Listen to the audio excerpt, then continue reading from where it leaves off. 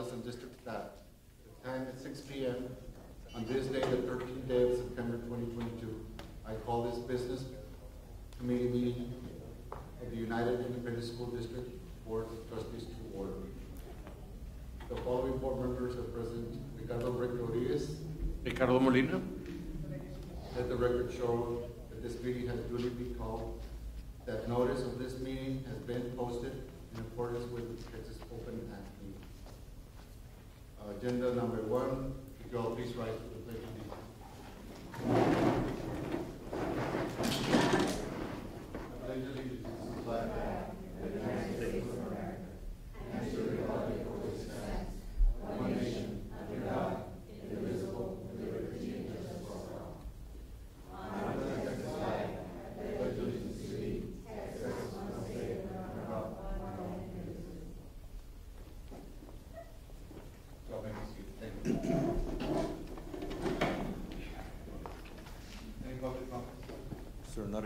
this time. Agenda item number three, A, adoption of 2022-23 budget for the accelerated instruction under the TEC, section twenty-nine point zero eight one, for the eighteen one four, I four, nine-five compliance. Yes, sir, Mr. Rodriguez, Mr. Molina. The, the um, Texas legislature requires us to acknowledge that the school district, in accordance with House Bill 5, has adopted a 22-23 budget that includes $358,310 for uh, um, additional accelerated instruction to assist those kids that struggle with the end-of-year course exams. We also have to acknowledge that with House Bill 1495, that um, we're um, it's kind of hard to say because we don't lobby, but we become members of organizations that lobby on behalf of school districts like TASB, TASBO. And so we need to identify that portion of the dues that we pay as um, um, not lobbying per se, but the assistance at the state level when the state is considering maybe changing the funding formula or some education requirements. They will go on our behalf and gather the information, and then they will see how advantageous it is for the school districts in the state of Texas.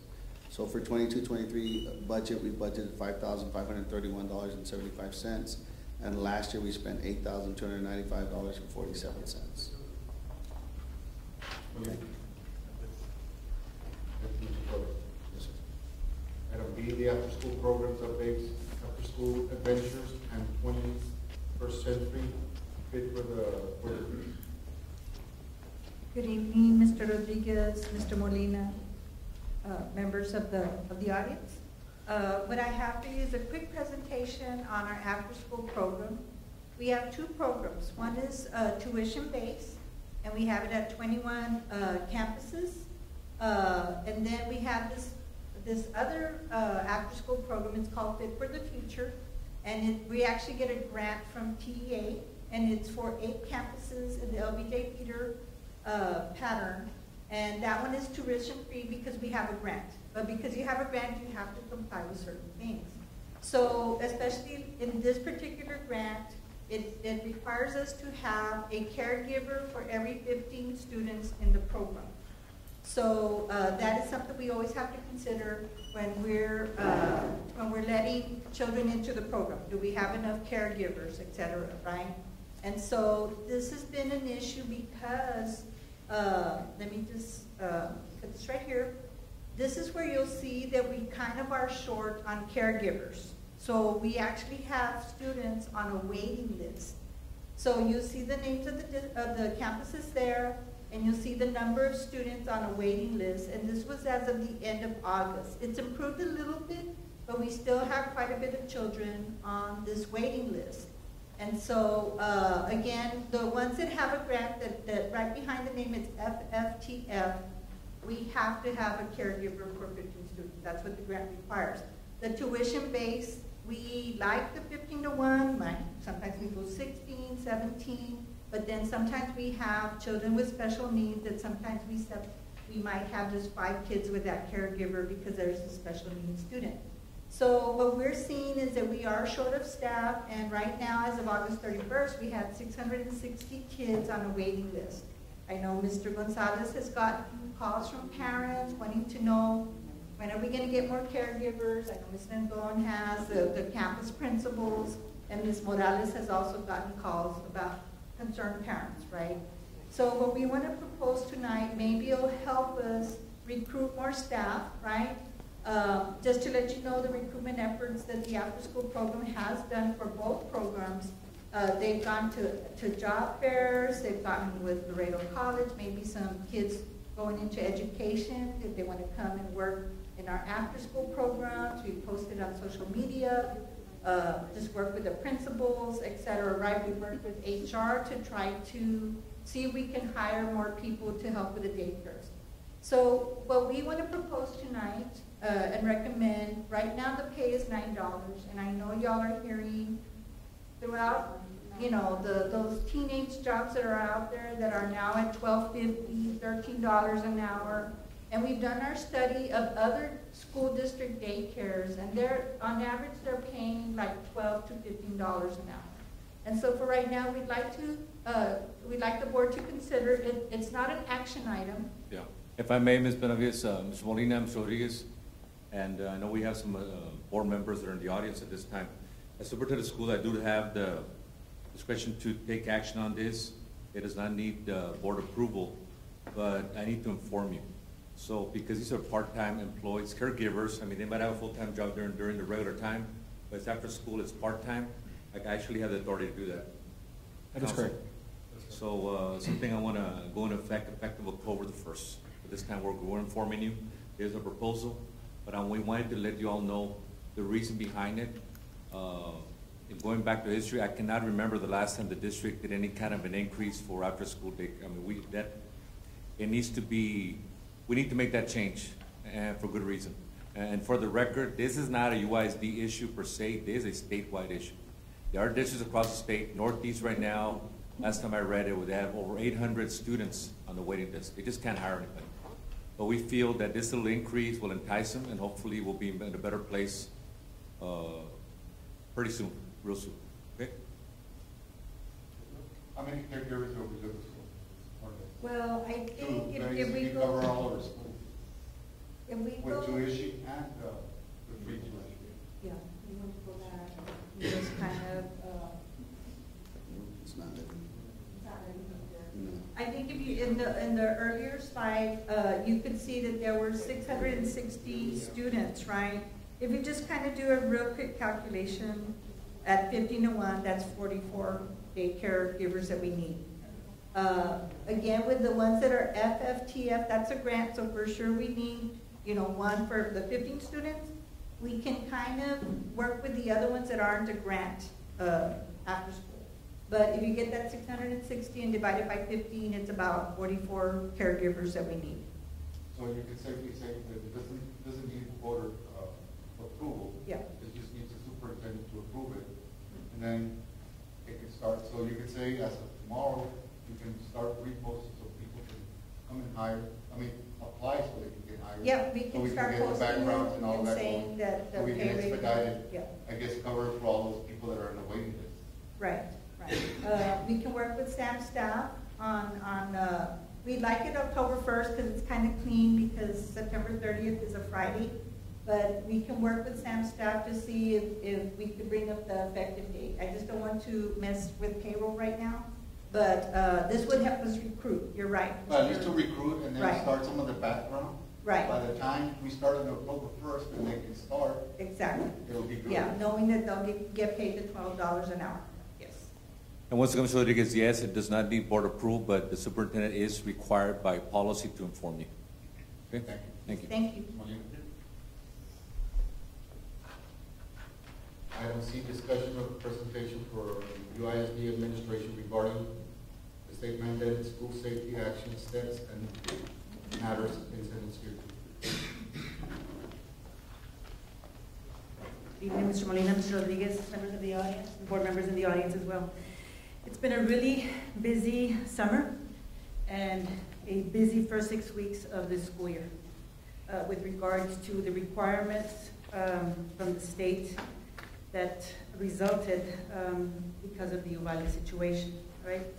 UISD has complied uh, with all of the actions of the state uh, that are re- being required. We have modified our procedures, we have modified our workflows for um, orders with regards to exterior doors. And so uh, I want to kind of uh, give you a, a little glimpse as to what has been, um, what already happened and what we are continuing to work on in the future. At this time, I would like to introduce to you all our new Safety and Crisis Response Manager, and this is Mr. Ruben Ayala, who would be giving you a little overview of the uh, state mandated actions uh, with regards to s- campus safety. Good evening, board members, superintendent, audience. Um, so briefly, what I'll be doing is giving you a description of what has been, um, what we've been doing and what has been mandated by the state. So we have conducted a summer targeted partial safety audit, um, provided training, and we've already reported this to the state as well as to our safety committee. We've also conducted exterior door safety audits, also reported to our committee as well as to the state uh, We have convened the District Safety and Security Committee. Uh, We met with them and we reviewed the multi-hazard, or EOP, Emergency Operating Plan, as well as um, the components of the EOP, which are several annexes and appendices that are required by the state now. We ensure that all campus staff, including substitutes, are trained, which is also one of the state mandates. Um, In, in this, what we've done is they've been scheduled and we have um, a a, uh, a video that they- every person getting hired will be, uh, will be able to see and have that training, so everybody's receiving the exact same training. There's no differentiating by a different administrator presenting something different. Everybody is seeing the same exact training. Uh, we've scheduled all mandatory drills for the school year. That's already been done. Ensured all threat assessment team members are trained. Campuses have uh, trained, and this is the video that was created. Also included the behavior threat assessment uh, component. Reviewed and updated access control procedures. So for all use, uh, for the use of your access control procedures must include exterior door sweeps. Um, we have our police department helping us with that, and they're doing exterior door checks every week, um, reporting those. Um, and that is part of our workflow as well. Uh, if there is any exterior door issue coming up, we have an expedited workflow that targets that as a safety issue and it's handled first, taking priority. Um, we're ensuring doors are closed and locked uh, in every instructional facility at least once per week. Um, This is the letter that was sent from uh, Governor Abbott to the uh, Texas School Safety Center, uh, indicating what he would, wanted and what was, he was going to be requiring uh, as mandated uh, through their office. Uh, This is the letter from Abbott, Mr. Governor Abbott, to the Commissioner, Mr. Morath, in what he wanted TEA to do, and also state his mandates for us. And this is the actual letter from Commissioner Morath, indicating exactly what the state mandates, which we have explained uh, before. This is the certification that was sent on our uh, summer school safety audit, as well as our door audit. It's already been submitted to the state. This is the summer targeted partial safety audit, so this is a sample of questions as a total. Uh, When you take all the pieces and parts of 243 questions, we did option B, um, which was to have our SSEO at every campus conduct these audits and submit these questions to our department. Um, So these were the questions that were asked. If you notice, there's, uh, in some of these, there's four parts additional to the question, and they also were required to answer those questions. This has already been presented as well, we said before, to the summer, to the uh, safety committee, um, as well as been submitted. This is the exterior, exterior, exterior door components uh, that were checked in part of the audits. And this is the uh, tracker that is being used. Uh, It was recommended by the Texas School Safety Center, and we decided to go ahead and use uh, their tool. This is further information. Um, We're looking, okay. Uh, We're looking at grants to fund additional safety components. Uh, We're exploring the panic buttons, which is also part of what TA is asking us to do, and further, they'll give us further guidance, guidance on that as it comes. Uh, Training of campus and district administrators, um, we already conducted that on July 26th. Uh, Provided uh, turnkey training models uh, to our administrators and teachers and staff, so that is the video that was created so that it can be turnkey and everybody can receive the exact same training. No differentiating, nothing left out, everybody hears the same thing. Um, train all campus substitutes, as well as anybody that gets hired will still continue to receive that training so that everybody knows our safety procedures and protocols. Uh, Met with School Safety Committee on September 7th at SAC. Uh, We met with them, and the agenda there was uh, the results of the door audit, uh, reviewed that. We reviewed also the uh, summer safety audits, uh, district emergency operation, dis- district emergency operation plan, as well as the appendices, uh, including the active threat, which had an appendix for the active shooter as well, bad weather and biohazards. For September regular board meeting, we'll be presenting the emergency operation plan in its final phase um, with all of the additions that the state has required us to add into there, and uh, we'll be waiting for your approval on that. As well as metal detectors have been delivered and set up in every elementary school, including uh, Molina Middle School. Uh, IDs for high school students are being, uh, are, will be begin by the uh, second six weeks in October. Uh, Labeling of all classroom windows through the exterior. Uh, We have exterior doors labeled. Uh, We'll be labeling exterior windows as well. Uh, Labeling of all outdoor facilities. Uh, We did have a site visit from the Texas School Safety Center, um, my fourth day on the position, and uh, that was on October, August 25th, on behavior threat assessment specifically. And then we, we're going to continue to keep researching any grant opportunities for safety so that we can fund any other projects that we can find that will help with our safety of our schools. Uh, Intruder audits by state are uh, starting, so they started this week. Uh, There's intruder audits, we're actually having an update training tomorrow, um, so we'll be doing that virtually with them uh, as well. And uh, we plan to submit the EOP to the state by October 12th, hopefully before then. Thank you. So I just wanted to share with you all that the EOP, which is the Emergency Operations Plan, we are at about 800 pages, all right? And so it details what to do before, what to do during, and what to do after the uh, steps of a major situation or a major crisis. And so it has been, you're going to see a lot of repetition. I will bring that to you all next month um, with regards to what um, we have to comply. This is going to be reviewed by the state, uh, and then of course we'll, we'll get the approval or what we have to remedy in that case. And this is everybody across the state of Texas submitting the emergency operations plan. So just when we think we're finished with the plan, we get another annex. And that was, what, Tuesday of, no, Thursday of last week, we get another addition. And in some cases, there's some things that, you know, you, you probably don't think would ever happen here. Like, for example, um, they'll, they'll bring in a, a pipeline um, issue that, you know, there was a, our campus, we're going to have to shut down because there's a gas leak or a chemical leak through a pipeline or a gas line. And so it may impact campus A, B, C, or D. And so you have to have your before, your during, and your after steps.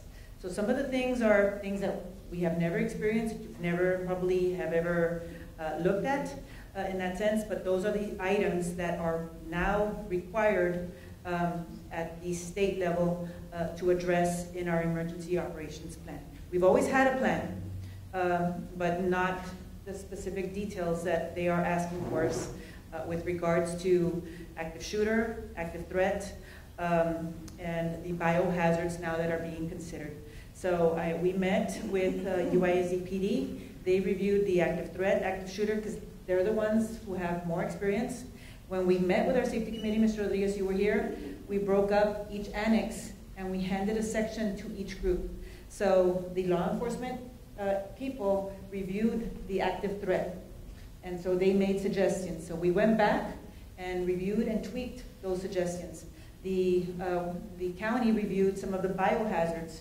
And so we went back, they tweaked, we, we uh, revised a few items with regards to that. And then the, the last one that was on there, the big one, is the bad weather.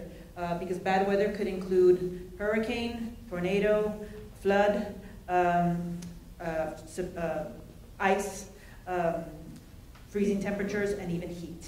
So there's so many um, different components to that. So we continue to work on those particular items. Um, we will bring that plan to you. Uh, we'll bring you that, that uh, draft plan so that you can review at next week's board meeting. And then uh, we'll go back, revise as needed, and then hopefully submit to the state prior to October 12th deadline that has been given to us.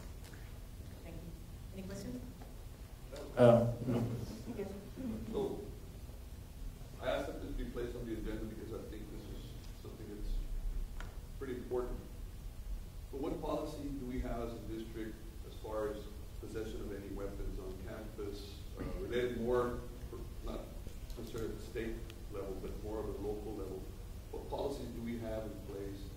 Uh, I, I, I tend to think that the zero tolerance policy is probably what needs to be implemented when it comes to weapons, just like in drugs or any alcohol or anything like that. Now, we, we related to the situation that happened on Friday at night, uh, and the other one that now at, at Alberta, you know, and there's others at, at United South, and, and, you know, and so how are we handling those situations? Uh, you know, even though they're seven, eight, nine-year-olds, you know, can they get arrested? You know, we, are we pushing for some type of, of uh, sanctions? Uh, what, you know, what, what are we gonna do to address these situations? I think that's, that's. Okay, Me, and Ruben will probably help me with the disciplinary component. So we do have, um, with regards to, we've had issues with students bringing uh, weapons. Um, For the record, uh, we've had numerous individuals. So we look at the criminal component, and that's when we always involve our police department, our law enforcement, all right? So they determine, that'll be what, six inches? Five and a half inches or more. That's when you can place a student. The size of the knife, the size of the weapon, of course, is the triggering mechanism for that. All right, so then we also look at the age of the student, right?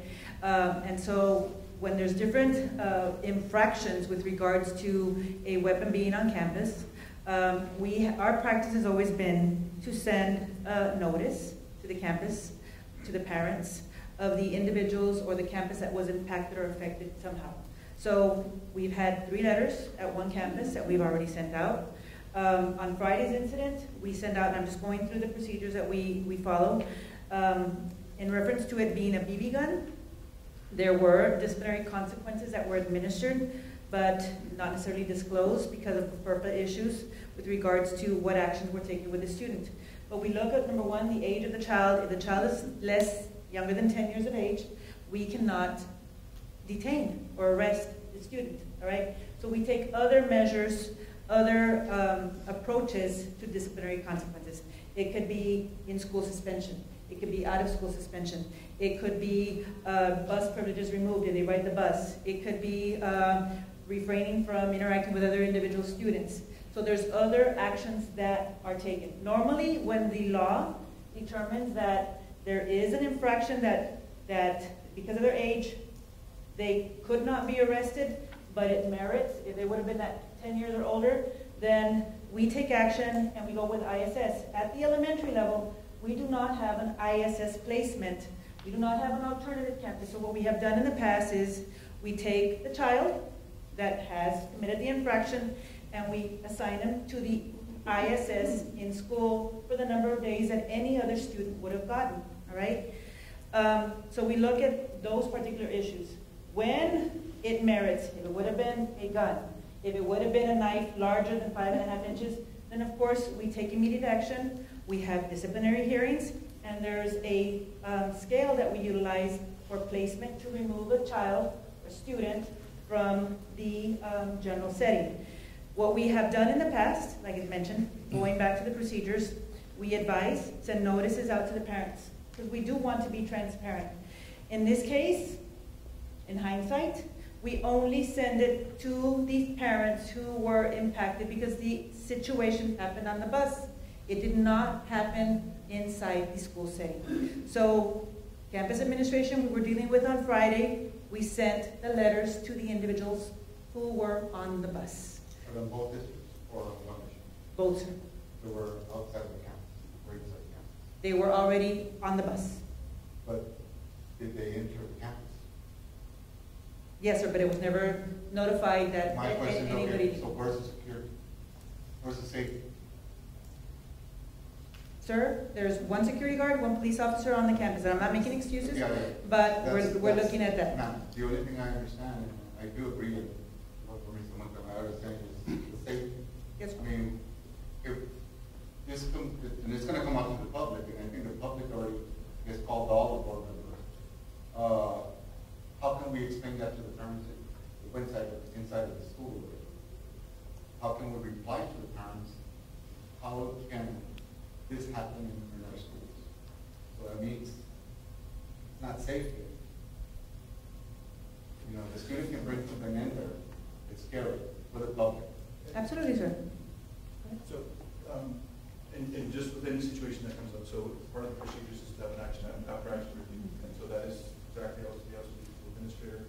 we will speak with law enforcement, and so that because of things that happen like this is where we find out where our weaknesses are, what our strengths are, and then develop a plan.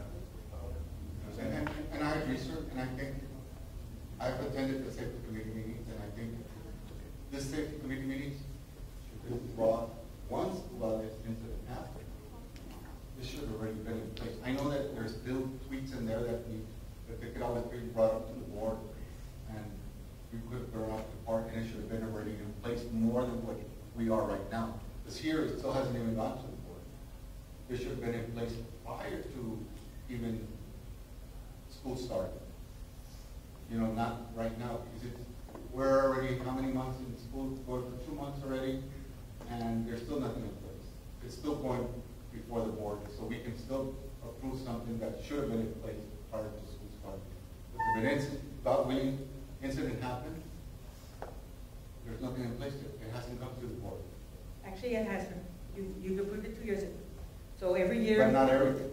Uh, The active shooter, active threat, it, it it has The a sem- a- a semblance of, of something. So it's modified with more requirements.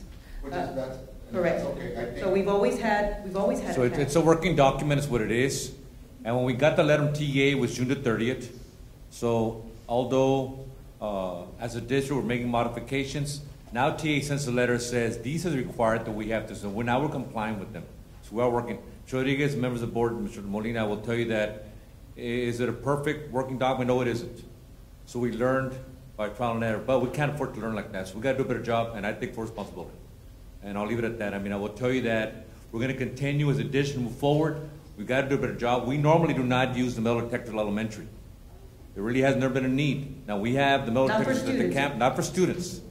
Okay? In this case, now we gotta, we gotta revisit it. On a pos- positive note, for, for everything, there's something positive. I will tell you, specifically at the middle school, what happened today. The message, and I know we've seen our board member Montemayor in particular, when he comes out and, and our message, if you see something, report it. That's exactly what's been happening. That's what happened at the middle school today. So if anything positive, that's coming out. But as far as our safety plan, it is a working document. We're gonna continue to tweak it to make it as safe for our students and our, and our, and our, and our employees. Uh, as superintendent, I take full responsibility. I do a better job, and, and I take, it, okay? I have a question. Um, I, I believe in the, in the punitive part, I, I get that, but what, are- you know, it's a working document, so we need to be learning from this. Um, for one, I think, board, I was not informed. I don't know if you were, Mr. Montemayor, but I got a call from a parent, that's how I got informed of the incident. Um, and secondly, I, I, I understand we have the metal detectors at elementaries and middle schools, we're not using them. I think the common theme I, I read throughout some of the messages that were sent to me were the backpacks. I don't know if that's something we can do away with, something we can modify. And then secondly, the going, entering into a bus, is there some sort of security check prior to students going onto a bus? And then thirdly, yes, again, the pu- punitive part I get, but we're talking about elementary and middle school, even high school students. There needs to be a lesson, there needs to be some sort of reform. I'm a mental health professional. I believe in looking at everything that led up to that event, what's going on at home, you know, maybe CPS needs to be involved. Maybe there's a bigger picture here that we're, we're missing and we just want to go to the punishment part. That doesn't always, that rarely takes care of the problem. The problem will persist. We, we need to take it holistically. We need to look uh, at, at the student and see how we can help the student. That is the behavior threat component. Right. That is a- the behavior threat assessment that we have to apply now that it is required. Uh, Before, it was probably not as extensive uh, and not as, um, I guess, dropped down from the state level. Now they're, now it's required. So they'll be, mon- they even put a PEIMS code for threat assessments uh, for our students. So we have to comply and we have to have counseling sessions. What reform Right, methods are we going to Yeah, utilize? not just punitive, punitive, Yes. punitive. But let me just clarify, the metal detectors at the elementary level were, were installed, we don't even have ten days with these metal detectors. So they just came in, Okay. all right? And so we use them, but we don't run seven hundred students through a metal detector, all right? Because our students are coming in from the gym, from the cafeteria, from other entrances. So we don't have, um, a, a system in place where we have metal detectors at every single door to monitor those particular students. We don't have hand-ons that we review every single kid. We do random backpack, backpack checks, which is what the campus is going to be conducting now. And so they want to do that. We talked about clear backpacks or not allowing backpacks for the, for the future. But I could see the- the kindergartner dropping the Chromebook. Yeah.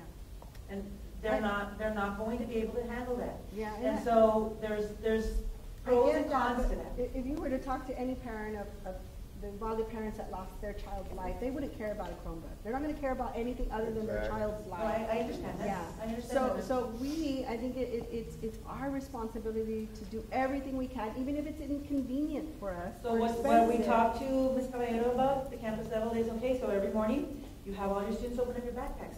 We put that on the parents as well, ma'am. The parents also have to look to see what is being brought to school. Correct. All And right? I'm not, I'm So not it judging a- you all It has way. to be that partnership Right. established, because if they had, if they know that that child had that BB gun or a weapon, yes, yes. so why wasn't it secured? Those are so many other questions that we have. And so it has to be that partnership that we have to establish. We will continue to do our threat assessments, we will track that particular student uh, as well. But you are correct, we have to do uh, the reform components of the behavior. Right, right, and, and definitely parents, Ms. Biggs was saying parents need to be involved, I, I totally agree. And I'm not in any way pointing a finger in any direction, um, because when you point a finger at someone, three fingers point right back at you. So I'm, that's not what I'm doing here, What- I'm just trying to save lives. What can we do to protect our students? That's a number one issue right now. Um, my phone was blowing up today. Uh, everybody's scared, everybody's concerned, everybody's angry. And I think, um, as board members, we, we need to hear their calls. We need to hear their, their pleas for help. And I, I, I'm a parent too, you know, I, I, if, if my children were still in, in the public school system, which they're all grown, they're all out, outgrew the system, but, um, I would be very scared to send my child to school. Uh, even sitting here, you know, I saw the security guard go out and check, or the police officer go out and check, and I thought, oh, no, no, what, you know, myself included, like checking for security. Um, that shouldn't happen. We should make sure that every door is checked, every, you know, um, we don't want another situ, we don't want anything to happen, not even what happened with this BB gun. But when they go into the bus, are their backpacks checked? Is there any sort of security check in the bus? Well, they board the bus in the morning, ma'am, So so there's no check. there's nobody to check Yeah. the I bus. have a down the question. I have a question, and, uh, one of the things that was, uh, brought up to me is how long were the other children in the bus? Who helped the other children in the bus? What happened with the bus? And you were talking right now about the afterward, during, and the, and, and the before, and I have a lot of concerns as to how that was, how that happened when these other kids were in the bus too. And to me, what this tells me is that we need someone with experience, because I don't want somebody practicing and gaining experience with my child's safety, especially like you said about the Uvalde thing. That, that's not gonna happen with my kid. You're not gonna be experiencing with my, with my kid. So I want someone with experience and knowledge to be sure that our kids are safe in the school, because this just demonstrated that you are not capable, the UISD is right now not capable of handling something like that, and you just admitted it. So I'm asking to please look into the safety and bring in as many people as you can that can look into it, not like last time that you kicked me out of the room when I have a lot of safety experience and law enforcement experience. So I would like, and I would appreciate if you do that. Thank you. Mirandona, I think, I remember when the- we took the the lockers out Yes, sir. quite a while ago. And just for the record, I would like to say, the Safety and Security is a set committee. I did not kick Mr. Obando out of any meeting. It is a set committee established by you all. We have uh, guidelines and issues that we have to follow by the state level. So I ask everybody who was not a standing member of that committee to please exit the room. And so it was not to target Mr. Orlando at all. And so I would like to just share that for the record, that I did not kick anybody out of that meeting. Okay, like I said, the- we took the lockers out, and then we started using the dog.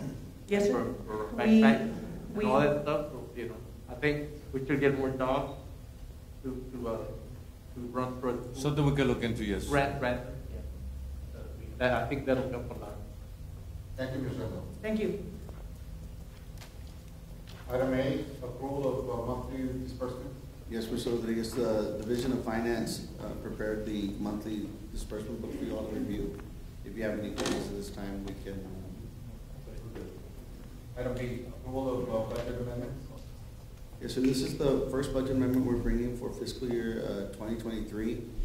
We had a, a, what I would call a behind-the-scenes upgrade in our finance system, where some mechanisms were being upgraded in our uh, budget prep file. And in that file, everybody's salary is correct, every raise is correct. However, sometimes the budget code didn't correspond with the person's position, so we have to correct these budget codes. There's no effect on fund balance, there's no effect on anybody's salary, there's no effect on anybody's raise or anything. It's just with this upgrade, so, uh, the budget code did not always follow that person's position when we dumped it into live. So this is just a, a, a, a informal, formal request to change the budget to match everybody's, um, salary expenditure. I mean, we have it tonight. Pardon? Do we have it tonight? Item D, approval of uh, awarding bids, proposals, and qualifications. Good evening, Mr. Gonzalez, Mr. Rodriguez, Mr. Molina, and board members in the audience. For the record, my name is Karina Mendoza, I am the purchasing manager, and um, staff is coming to you to, for the following approvals, for the following bids. RFP 2022-006, we have an updated tabulation for the dyslexia instruction program, only for the special education portion, Reading Horizons. RFP 2022-049, the SMOC and WebMOC services to Universe Corporation. RFQ 2022-003, district-wide environmental asbestos testing and abatement consultant um, to the most qualified Terracon consultant and second most qualified Alpha Terra Engineering. R- RFP 2022-042, consulting services for development of existing facilities needs assessment and master plan to ADM Group to the um, estimated annual amount as noted. RFP 2022-044, district-wide pest control services, recommended vendor ASEC Terman in pest control. CSP 2022-048, job order contracts for district-wide construction and general maintenance projects to Lion Construction of Texas, Quantum Construction, American Contracting and Roofing, Summit Building and Design, Sertuche Construction, and Romo Construction. RFP 2022-035, welding equipment supplies and services to Tim, South Texas. RFP 2022-036, hardware supplies to the recommended vendors as noted. RFP 2022-037, parts, supplies, and installation for security alarms, fire alarms, and public address system to Superior Alarms, Allen Yoder Enterprises.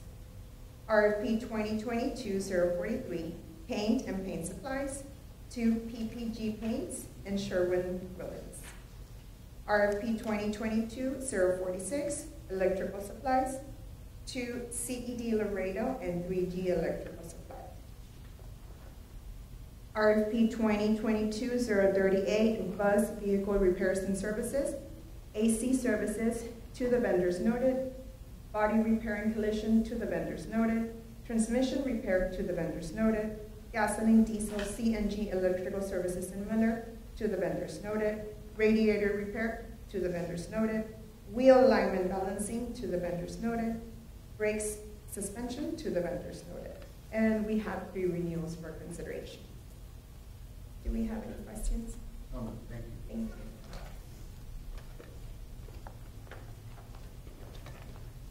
To item C, to skip, or resolution to approve, uh, the twenty twenty-two appraisal roll as the twenty twenty-three ISD tax roll.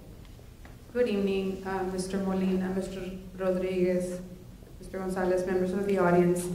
I bring to you the resolution to approve the 2022 appraiser roll as the 22 United ISD tax roll uh, with a levy of $245,091,857.01. Do you have any questions? Um, thank you very much. Thank you. Now we go back to item E, approval of the revision of 2022-2023 calendar due to bad weather on August 15, 2022. So we bring this uh, item to you for your approval with regards to the August 15th date where we had um, the severe flood watch. So we have looked at our calendar with curriculum and instruction, and we are removing the um, individual, the holiday that was set for President's Day on February 20th. We have removed that day, and that way, uh, the August 15th day was noted as a holiday to TEA, and so we will still have 175 days of instruction, uh, and we are coming to school on February 20th. Right? Thank you. Thank you. Madam Mayor, approval of class size waivers for the fall twenty twenty-two. So I bring to you the uh, presentation with regards to class size waivers. These are the classrooms that are over the 22 to 1 ratio from pre-kinder through fourth grade. Uh, We are looking at a total of 83 class size waivers. And I would like to share with you, um, the historical is on the following page. Um, That's what is in pink. That means that 83 classrooms across uh, pre-kinder through fourth grade are over the 22 to 22 um, allotted teacher-student ratio. And so we do have to submit this information to the state. We do have to advise our parents that they are in a classroom that exceeds um, the um, the 22 to 1. And um, so we make those modifications. We also have to present um, this to DIC for approval, but we would like for you to uh, approve this class size. You see the historical there, you see uh, the trend that we have had. This year was just a little different. We have grown tremendously, 1,800 students at the elementary level. And so uh, we had staffed um, accordingly, but the growth that we have had, when you see your enrollment sheets, we have 1,800 students. Uh, About 80% of the growth has been at the elementary level. So we are submitting our request for waivers. Thank you. Thank you. Yes, sir. Uh, Mr. Gonzalez, Mr. Gonzalez, how do you, uh, I've never seen eighty-eight waivers. So, I mean, I've been here seven years. How are we gonna prevent this? Are we gonna hire more teachers? Is there a plan in place? We're addressing as they come in. I know, for example, right now, Kennedy Zapata, today we approved another pre-K teacher. We get that threshold, we're, we're just as the, the class are Can even we, amount. can we get an update on this next month? Because I, I, I think Absolutely. 88 is, uh, and I think our Yes. teachers are kind of, especially at elementary and perhaps middle school, you know, kind of, there's a lot. We can more- update next month, absolutely. sir. I, I would like to state that what we do, um, and we're looking at- at those who legal monitor, Mr. Montemayor. So when we hit twenty-four, say there are three teachers, um, and I'm, I'm looking at Reese that we're looking at, there are twenty-four in first grade, 24, 24, 23, 23. One more student is coming in, so they'll all be at twenty-four with the exception of one class. So we cap it at twenty-four. And then we have to send those students to another campus. So that would entail bus, transportation, and so forth. Because we cannot keep adding 28, 29 students without necessarily adding another teacher. So we do look at that, but that grade level already is over seven students. And so uh, we look at those, we cap, we move on. But in this case, Reese is with Salinas, and Salinas is, is one more student, and they'll be asking for waivers as well. It's a lot, it's just, so maybe a lot of them. Thank you.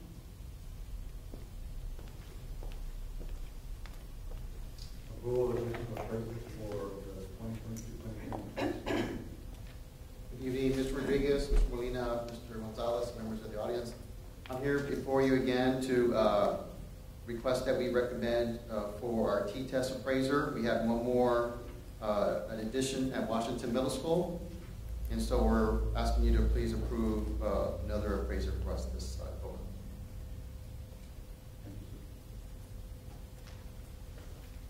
On H, approval of sales for disposition of the salary furniture and equipment. Yeah, good evening, Mr. Rodriguez, Mr. Molina, Superintendent Gonzalez, and members of the audience. This time we bring before you the request for approval of the sale of the listed, uh, seller disposition of the listed solid furniture and equipment uh, through a public auction at a future date. You all have the date. Uh, Tentatively, with your approval next week, uh, we have reserved September 30 with our contracted auctioneer company. Thank you. Item I, approval of internal audit plan for twenty twenty-two, twenty twenty-three.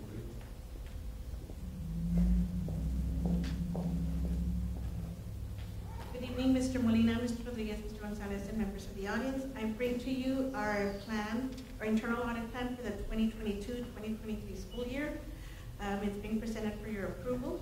The purpose of the plan is to provide guidance on the scheduled audit work for the year. The plan itself was prepared based on a risk-based analysis that includes risk, materiality, prior internal audits, changes in service or technology, or just the need for an audit presence. We also request input from administration and the board, and the plan is flexible, subject to change for any, uh, to allow for any uh, requests that come in during the year from the board and/or the superintendent. Um, Other things that I just want to mention, because we need to mention it annually as part of our internal uh, audit standards. In accordance with the internal audit standards, please note that the internal audit department's purpose, authority, and responsibility are found in the internal audit charter, in its code of ethics, and in board policy CFC local. These are all available on the UISD website. Also, in accordance with Texas Education Code 11.170 and the internal audit standards, the internal auditor reports administratively to the superintendent and functionally to the board of trustees to ensure its independence. Do you all have any questions or uh, comments on the plan? Okay. Thank you. Um, J, approval of implementation of buyback program for the transportation and child nutrition one eighty-seven slash two oh seven, base hourly employees. Mr. Ramirez, I'm sorry, Mr. Rodriguez, mine's the world, Mr. Rodriguez and Mr. Molina, members of the audience. Uh, On, on this item, it's actually hundred and eighty-six days to hundred and, uh, two oh days, excuse me. So the, it's recommended board approval for an employee incentive to sell the, up, to- up to three personal days to the district in order to assist with the days do not, they're not contracted to work. The administration has established criteria for buyback program. This is, I think, the second year in a row we're doing this for our employees. And to provide again, hundred and eighty-six, uh, day employees of two oh seven at will, hourly employees, the opportunity to receive compensation for the days leave accrued when they are not contracted to work. Now, the criteria for this is simply, they must have three or more years with UISD. They must have a accrued state, local leave balance of at least thirty days or more as of June the thirtieth. And a written, uh, declaration must be submitted by the employee requesting three paid leave days. So we're looking at a possible total of uh, 700 759 employees. And again, these are bus drivers, bus monitors, food service cooks, uh, employees that we're just trying to help out.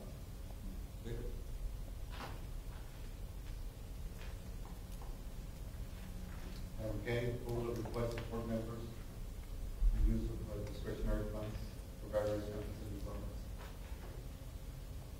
Again, it's recommended that the Board of Trustees approve uh, the request and the use of discretionary funds. Uh, I can go over them, sir. Uh, This is for Kennedy Zapata. First one, two thousand nine hundred ninety-nine point thirty-nine. Uh, For Ricardo Molina. And this is for programming radio frequency, so more radios for the campus. These are not the radios that provided for security of police, this is for, probably for the office clerks, office staff.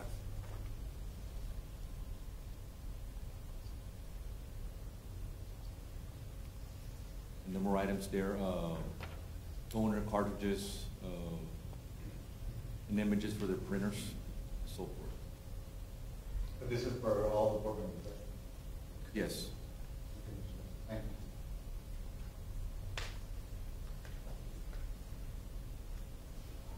Item L, approval of memorandum of understanding between United ISD and Cook County Juvenile Department allowing its probation officers access to the UISD campus.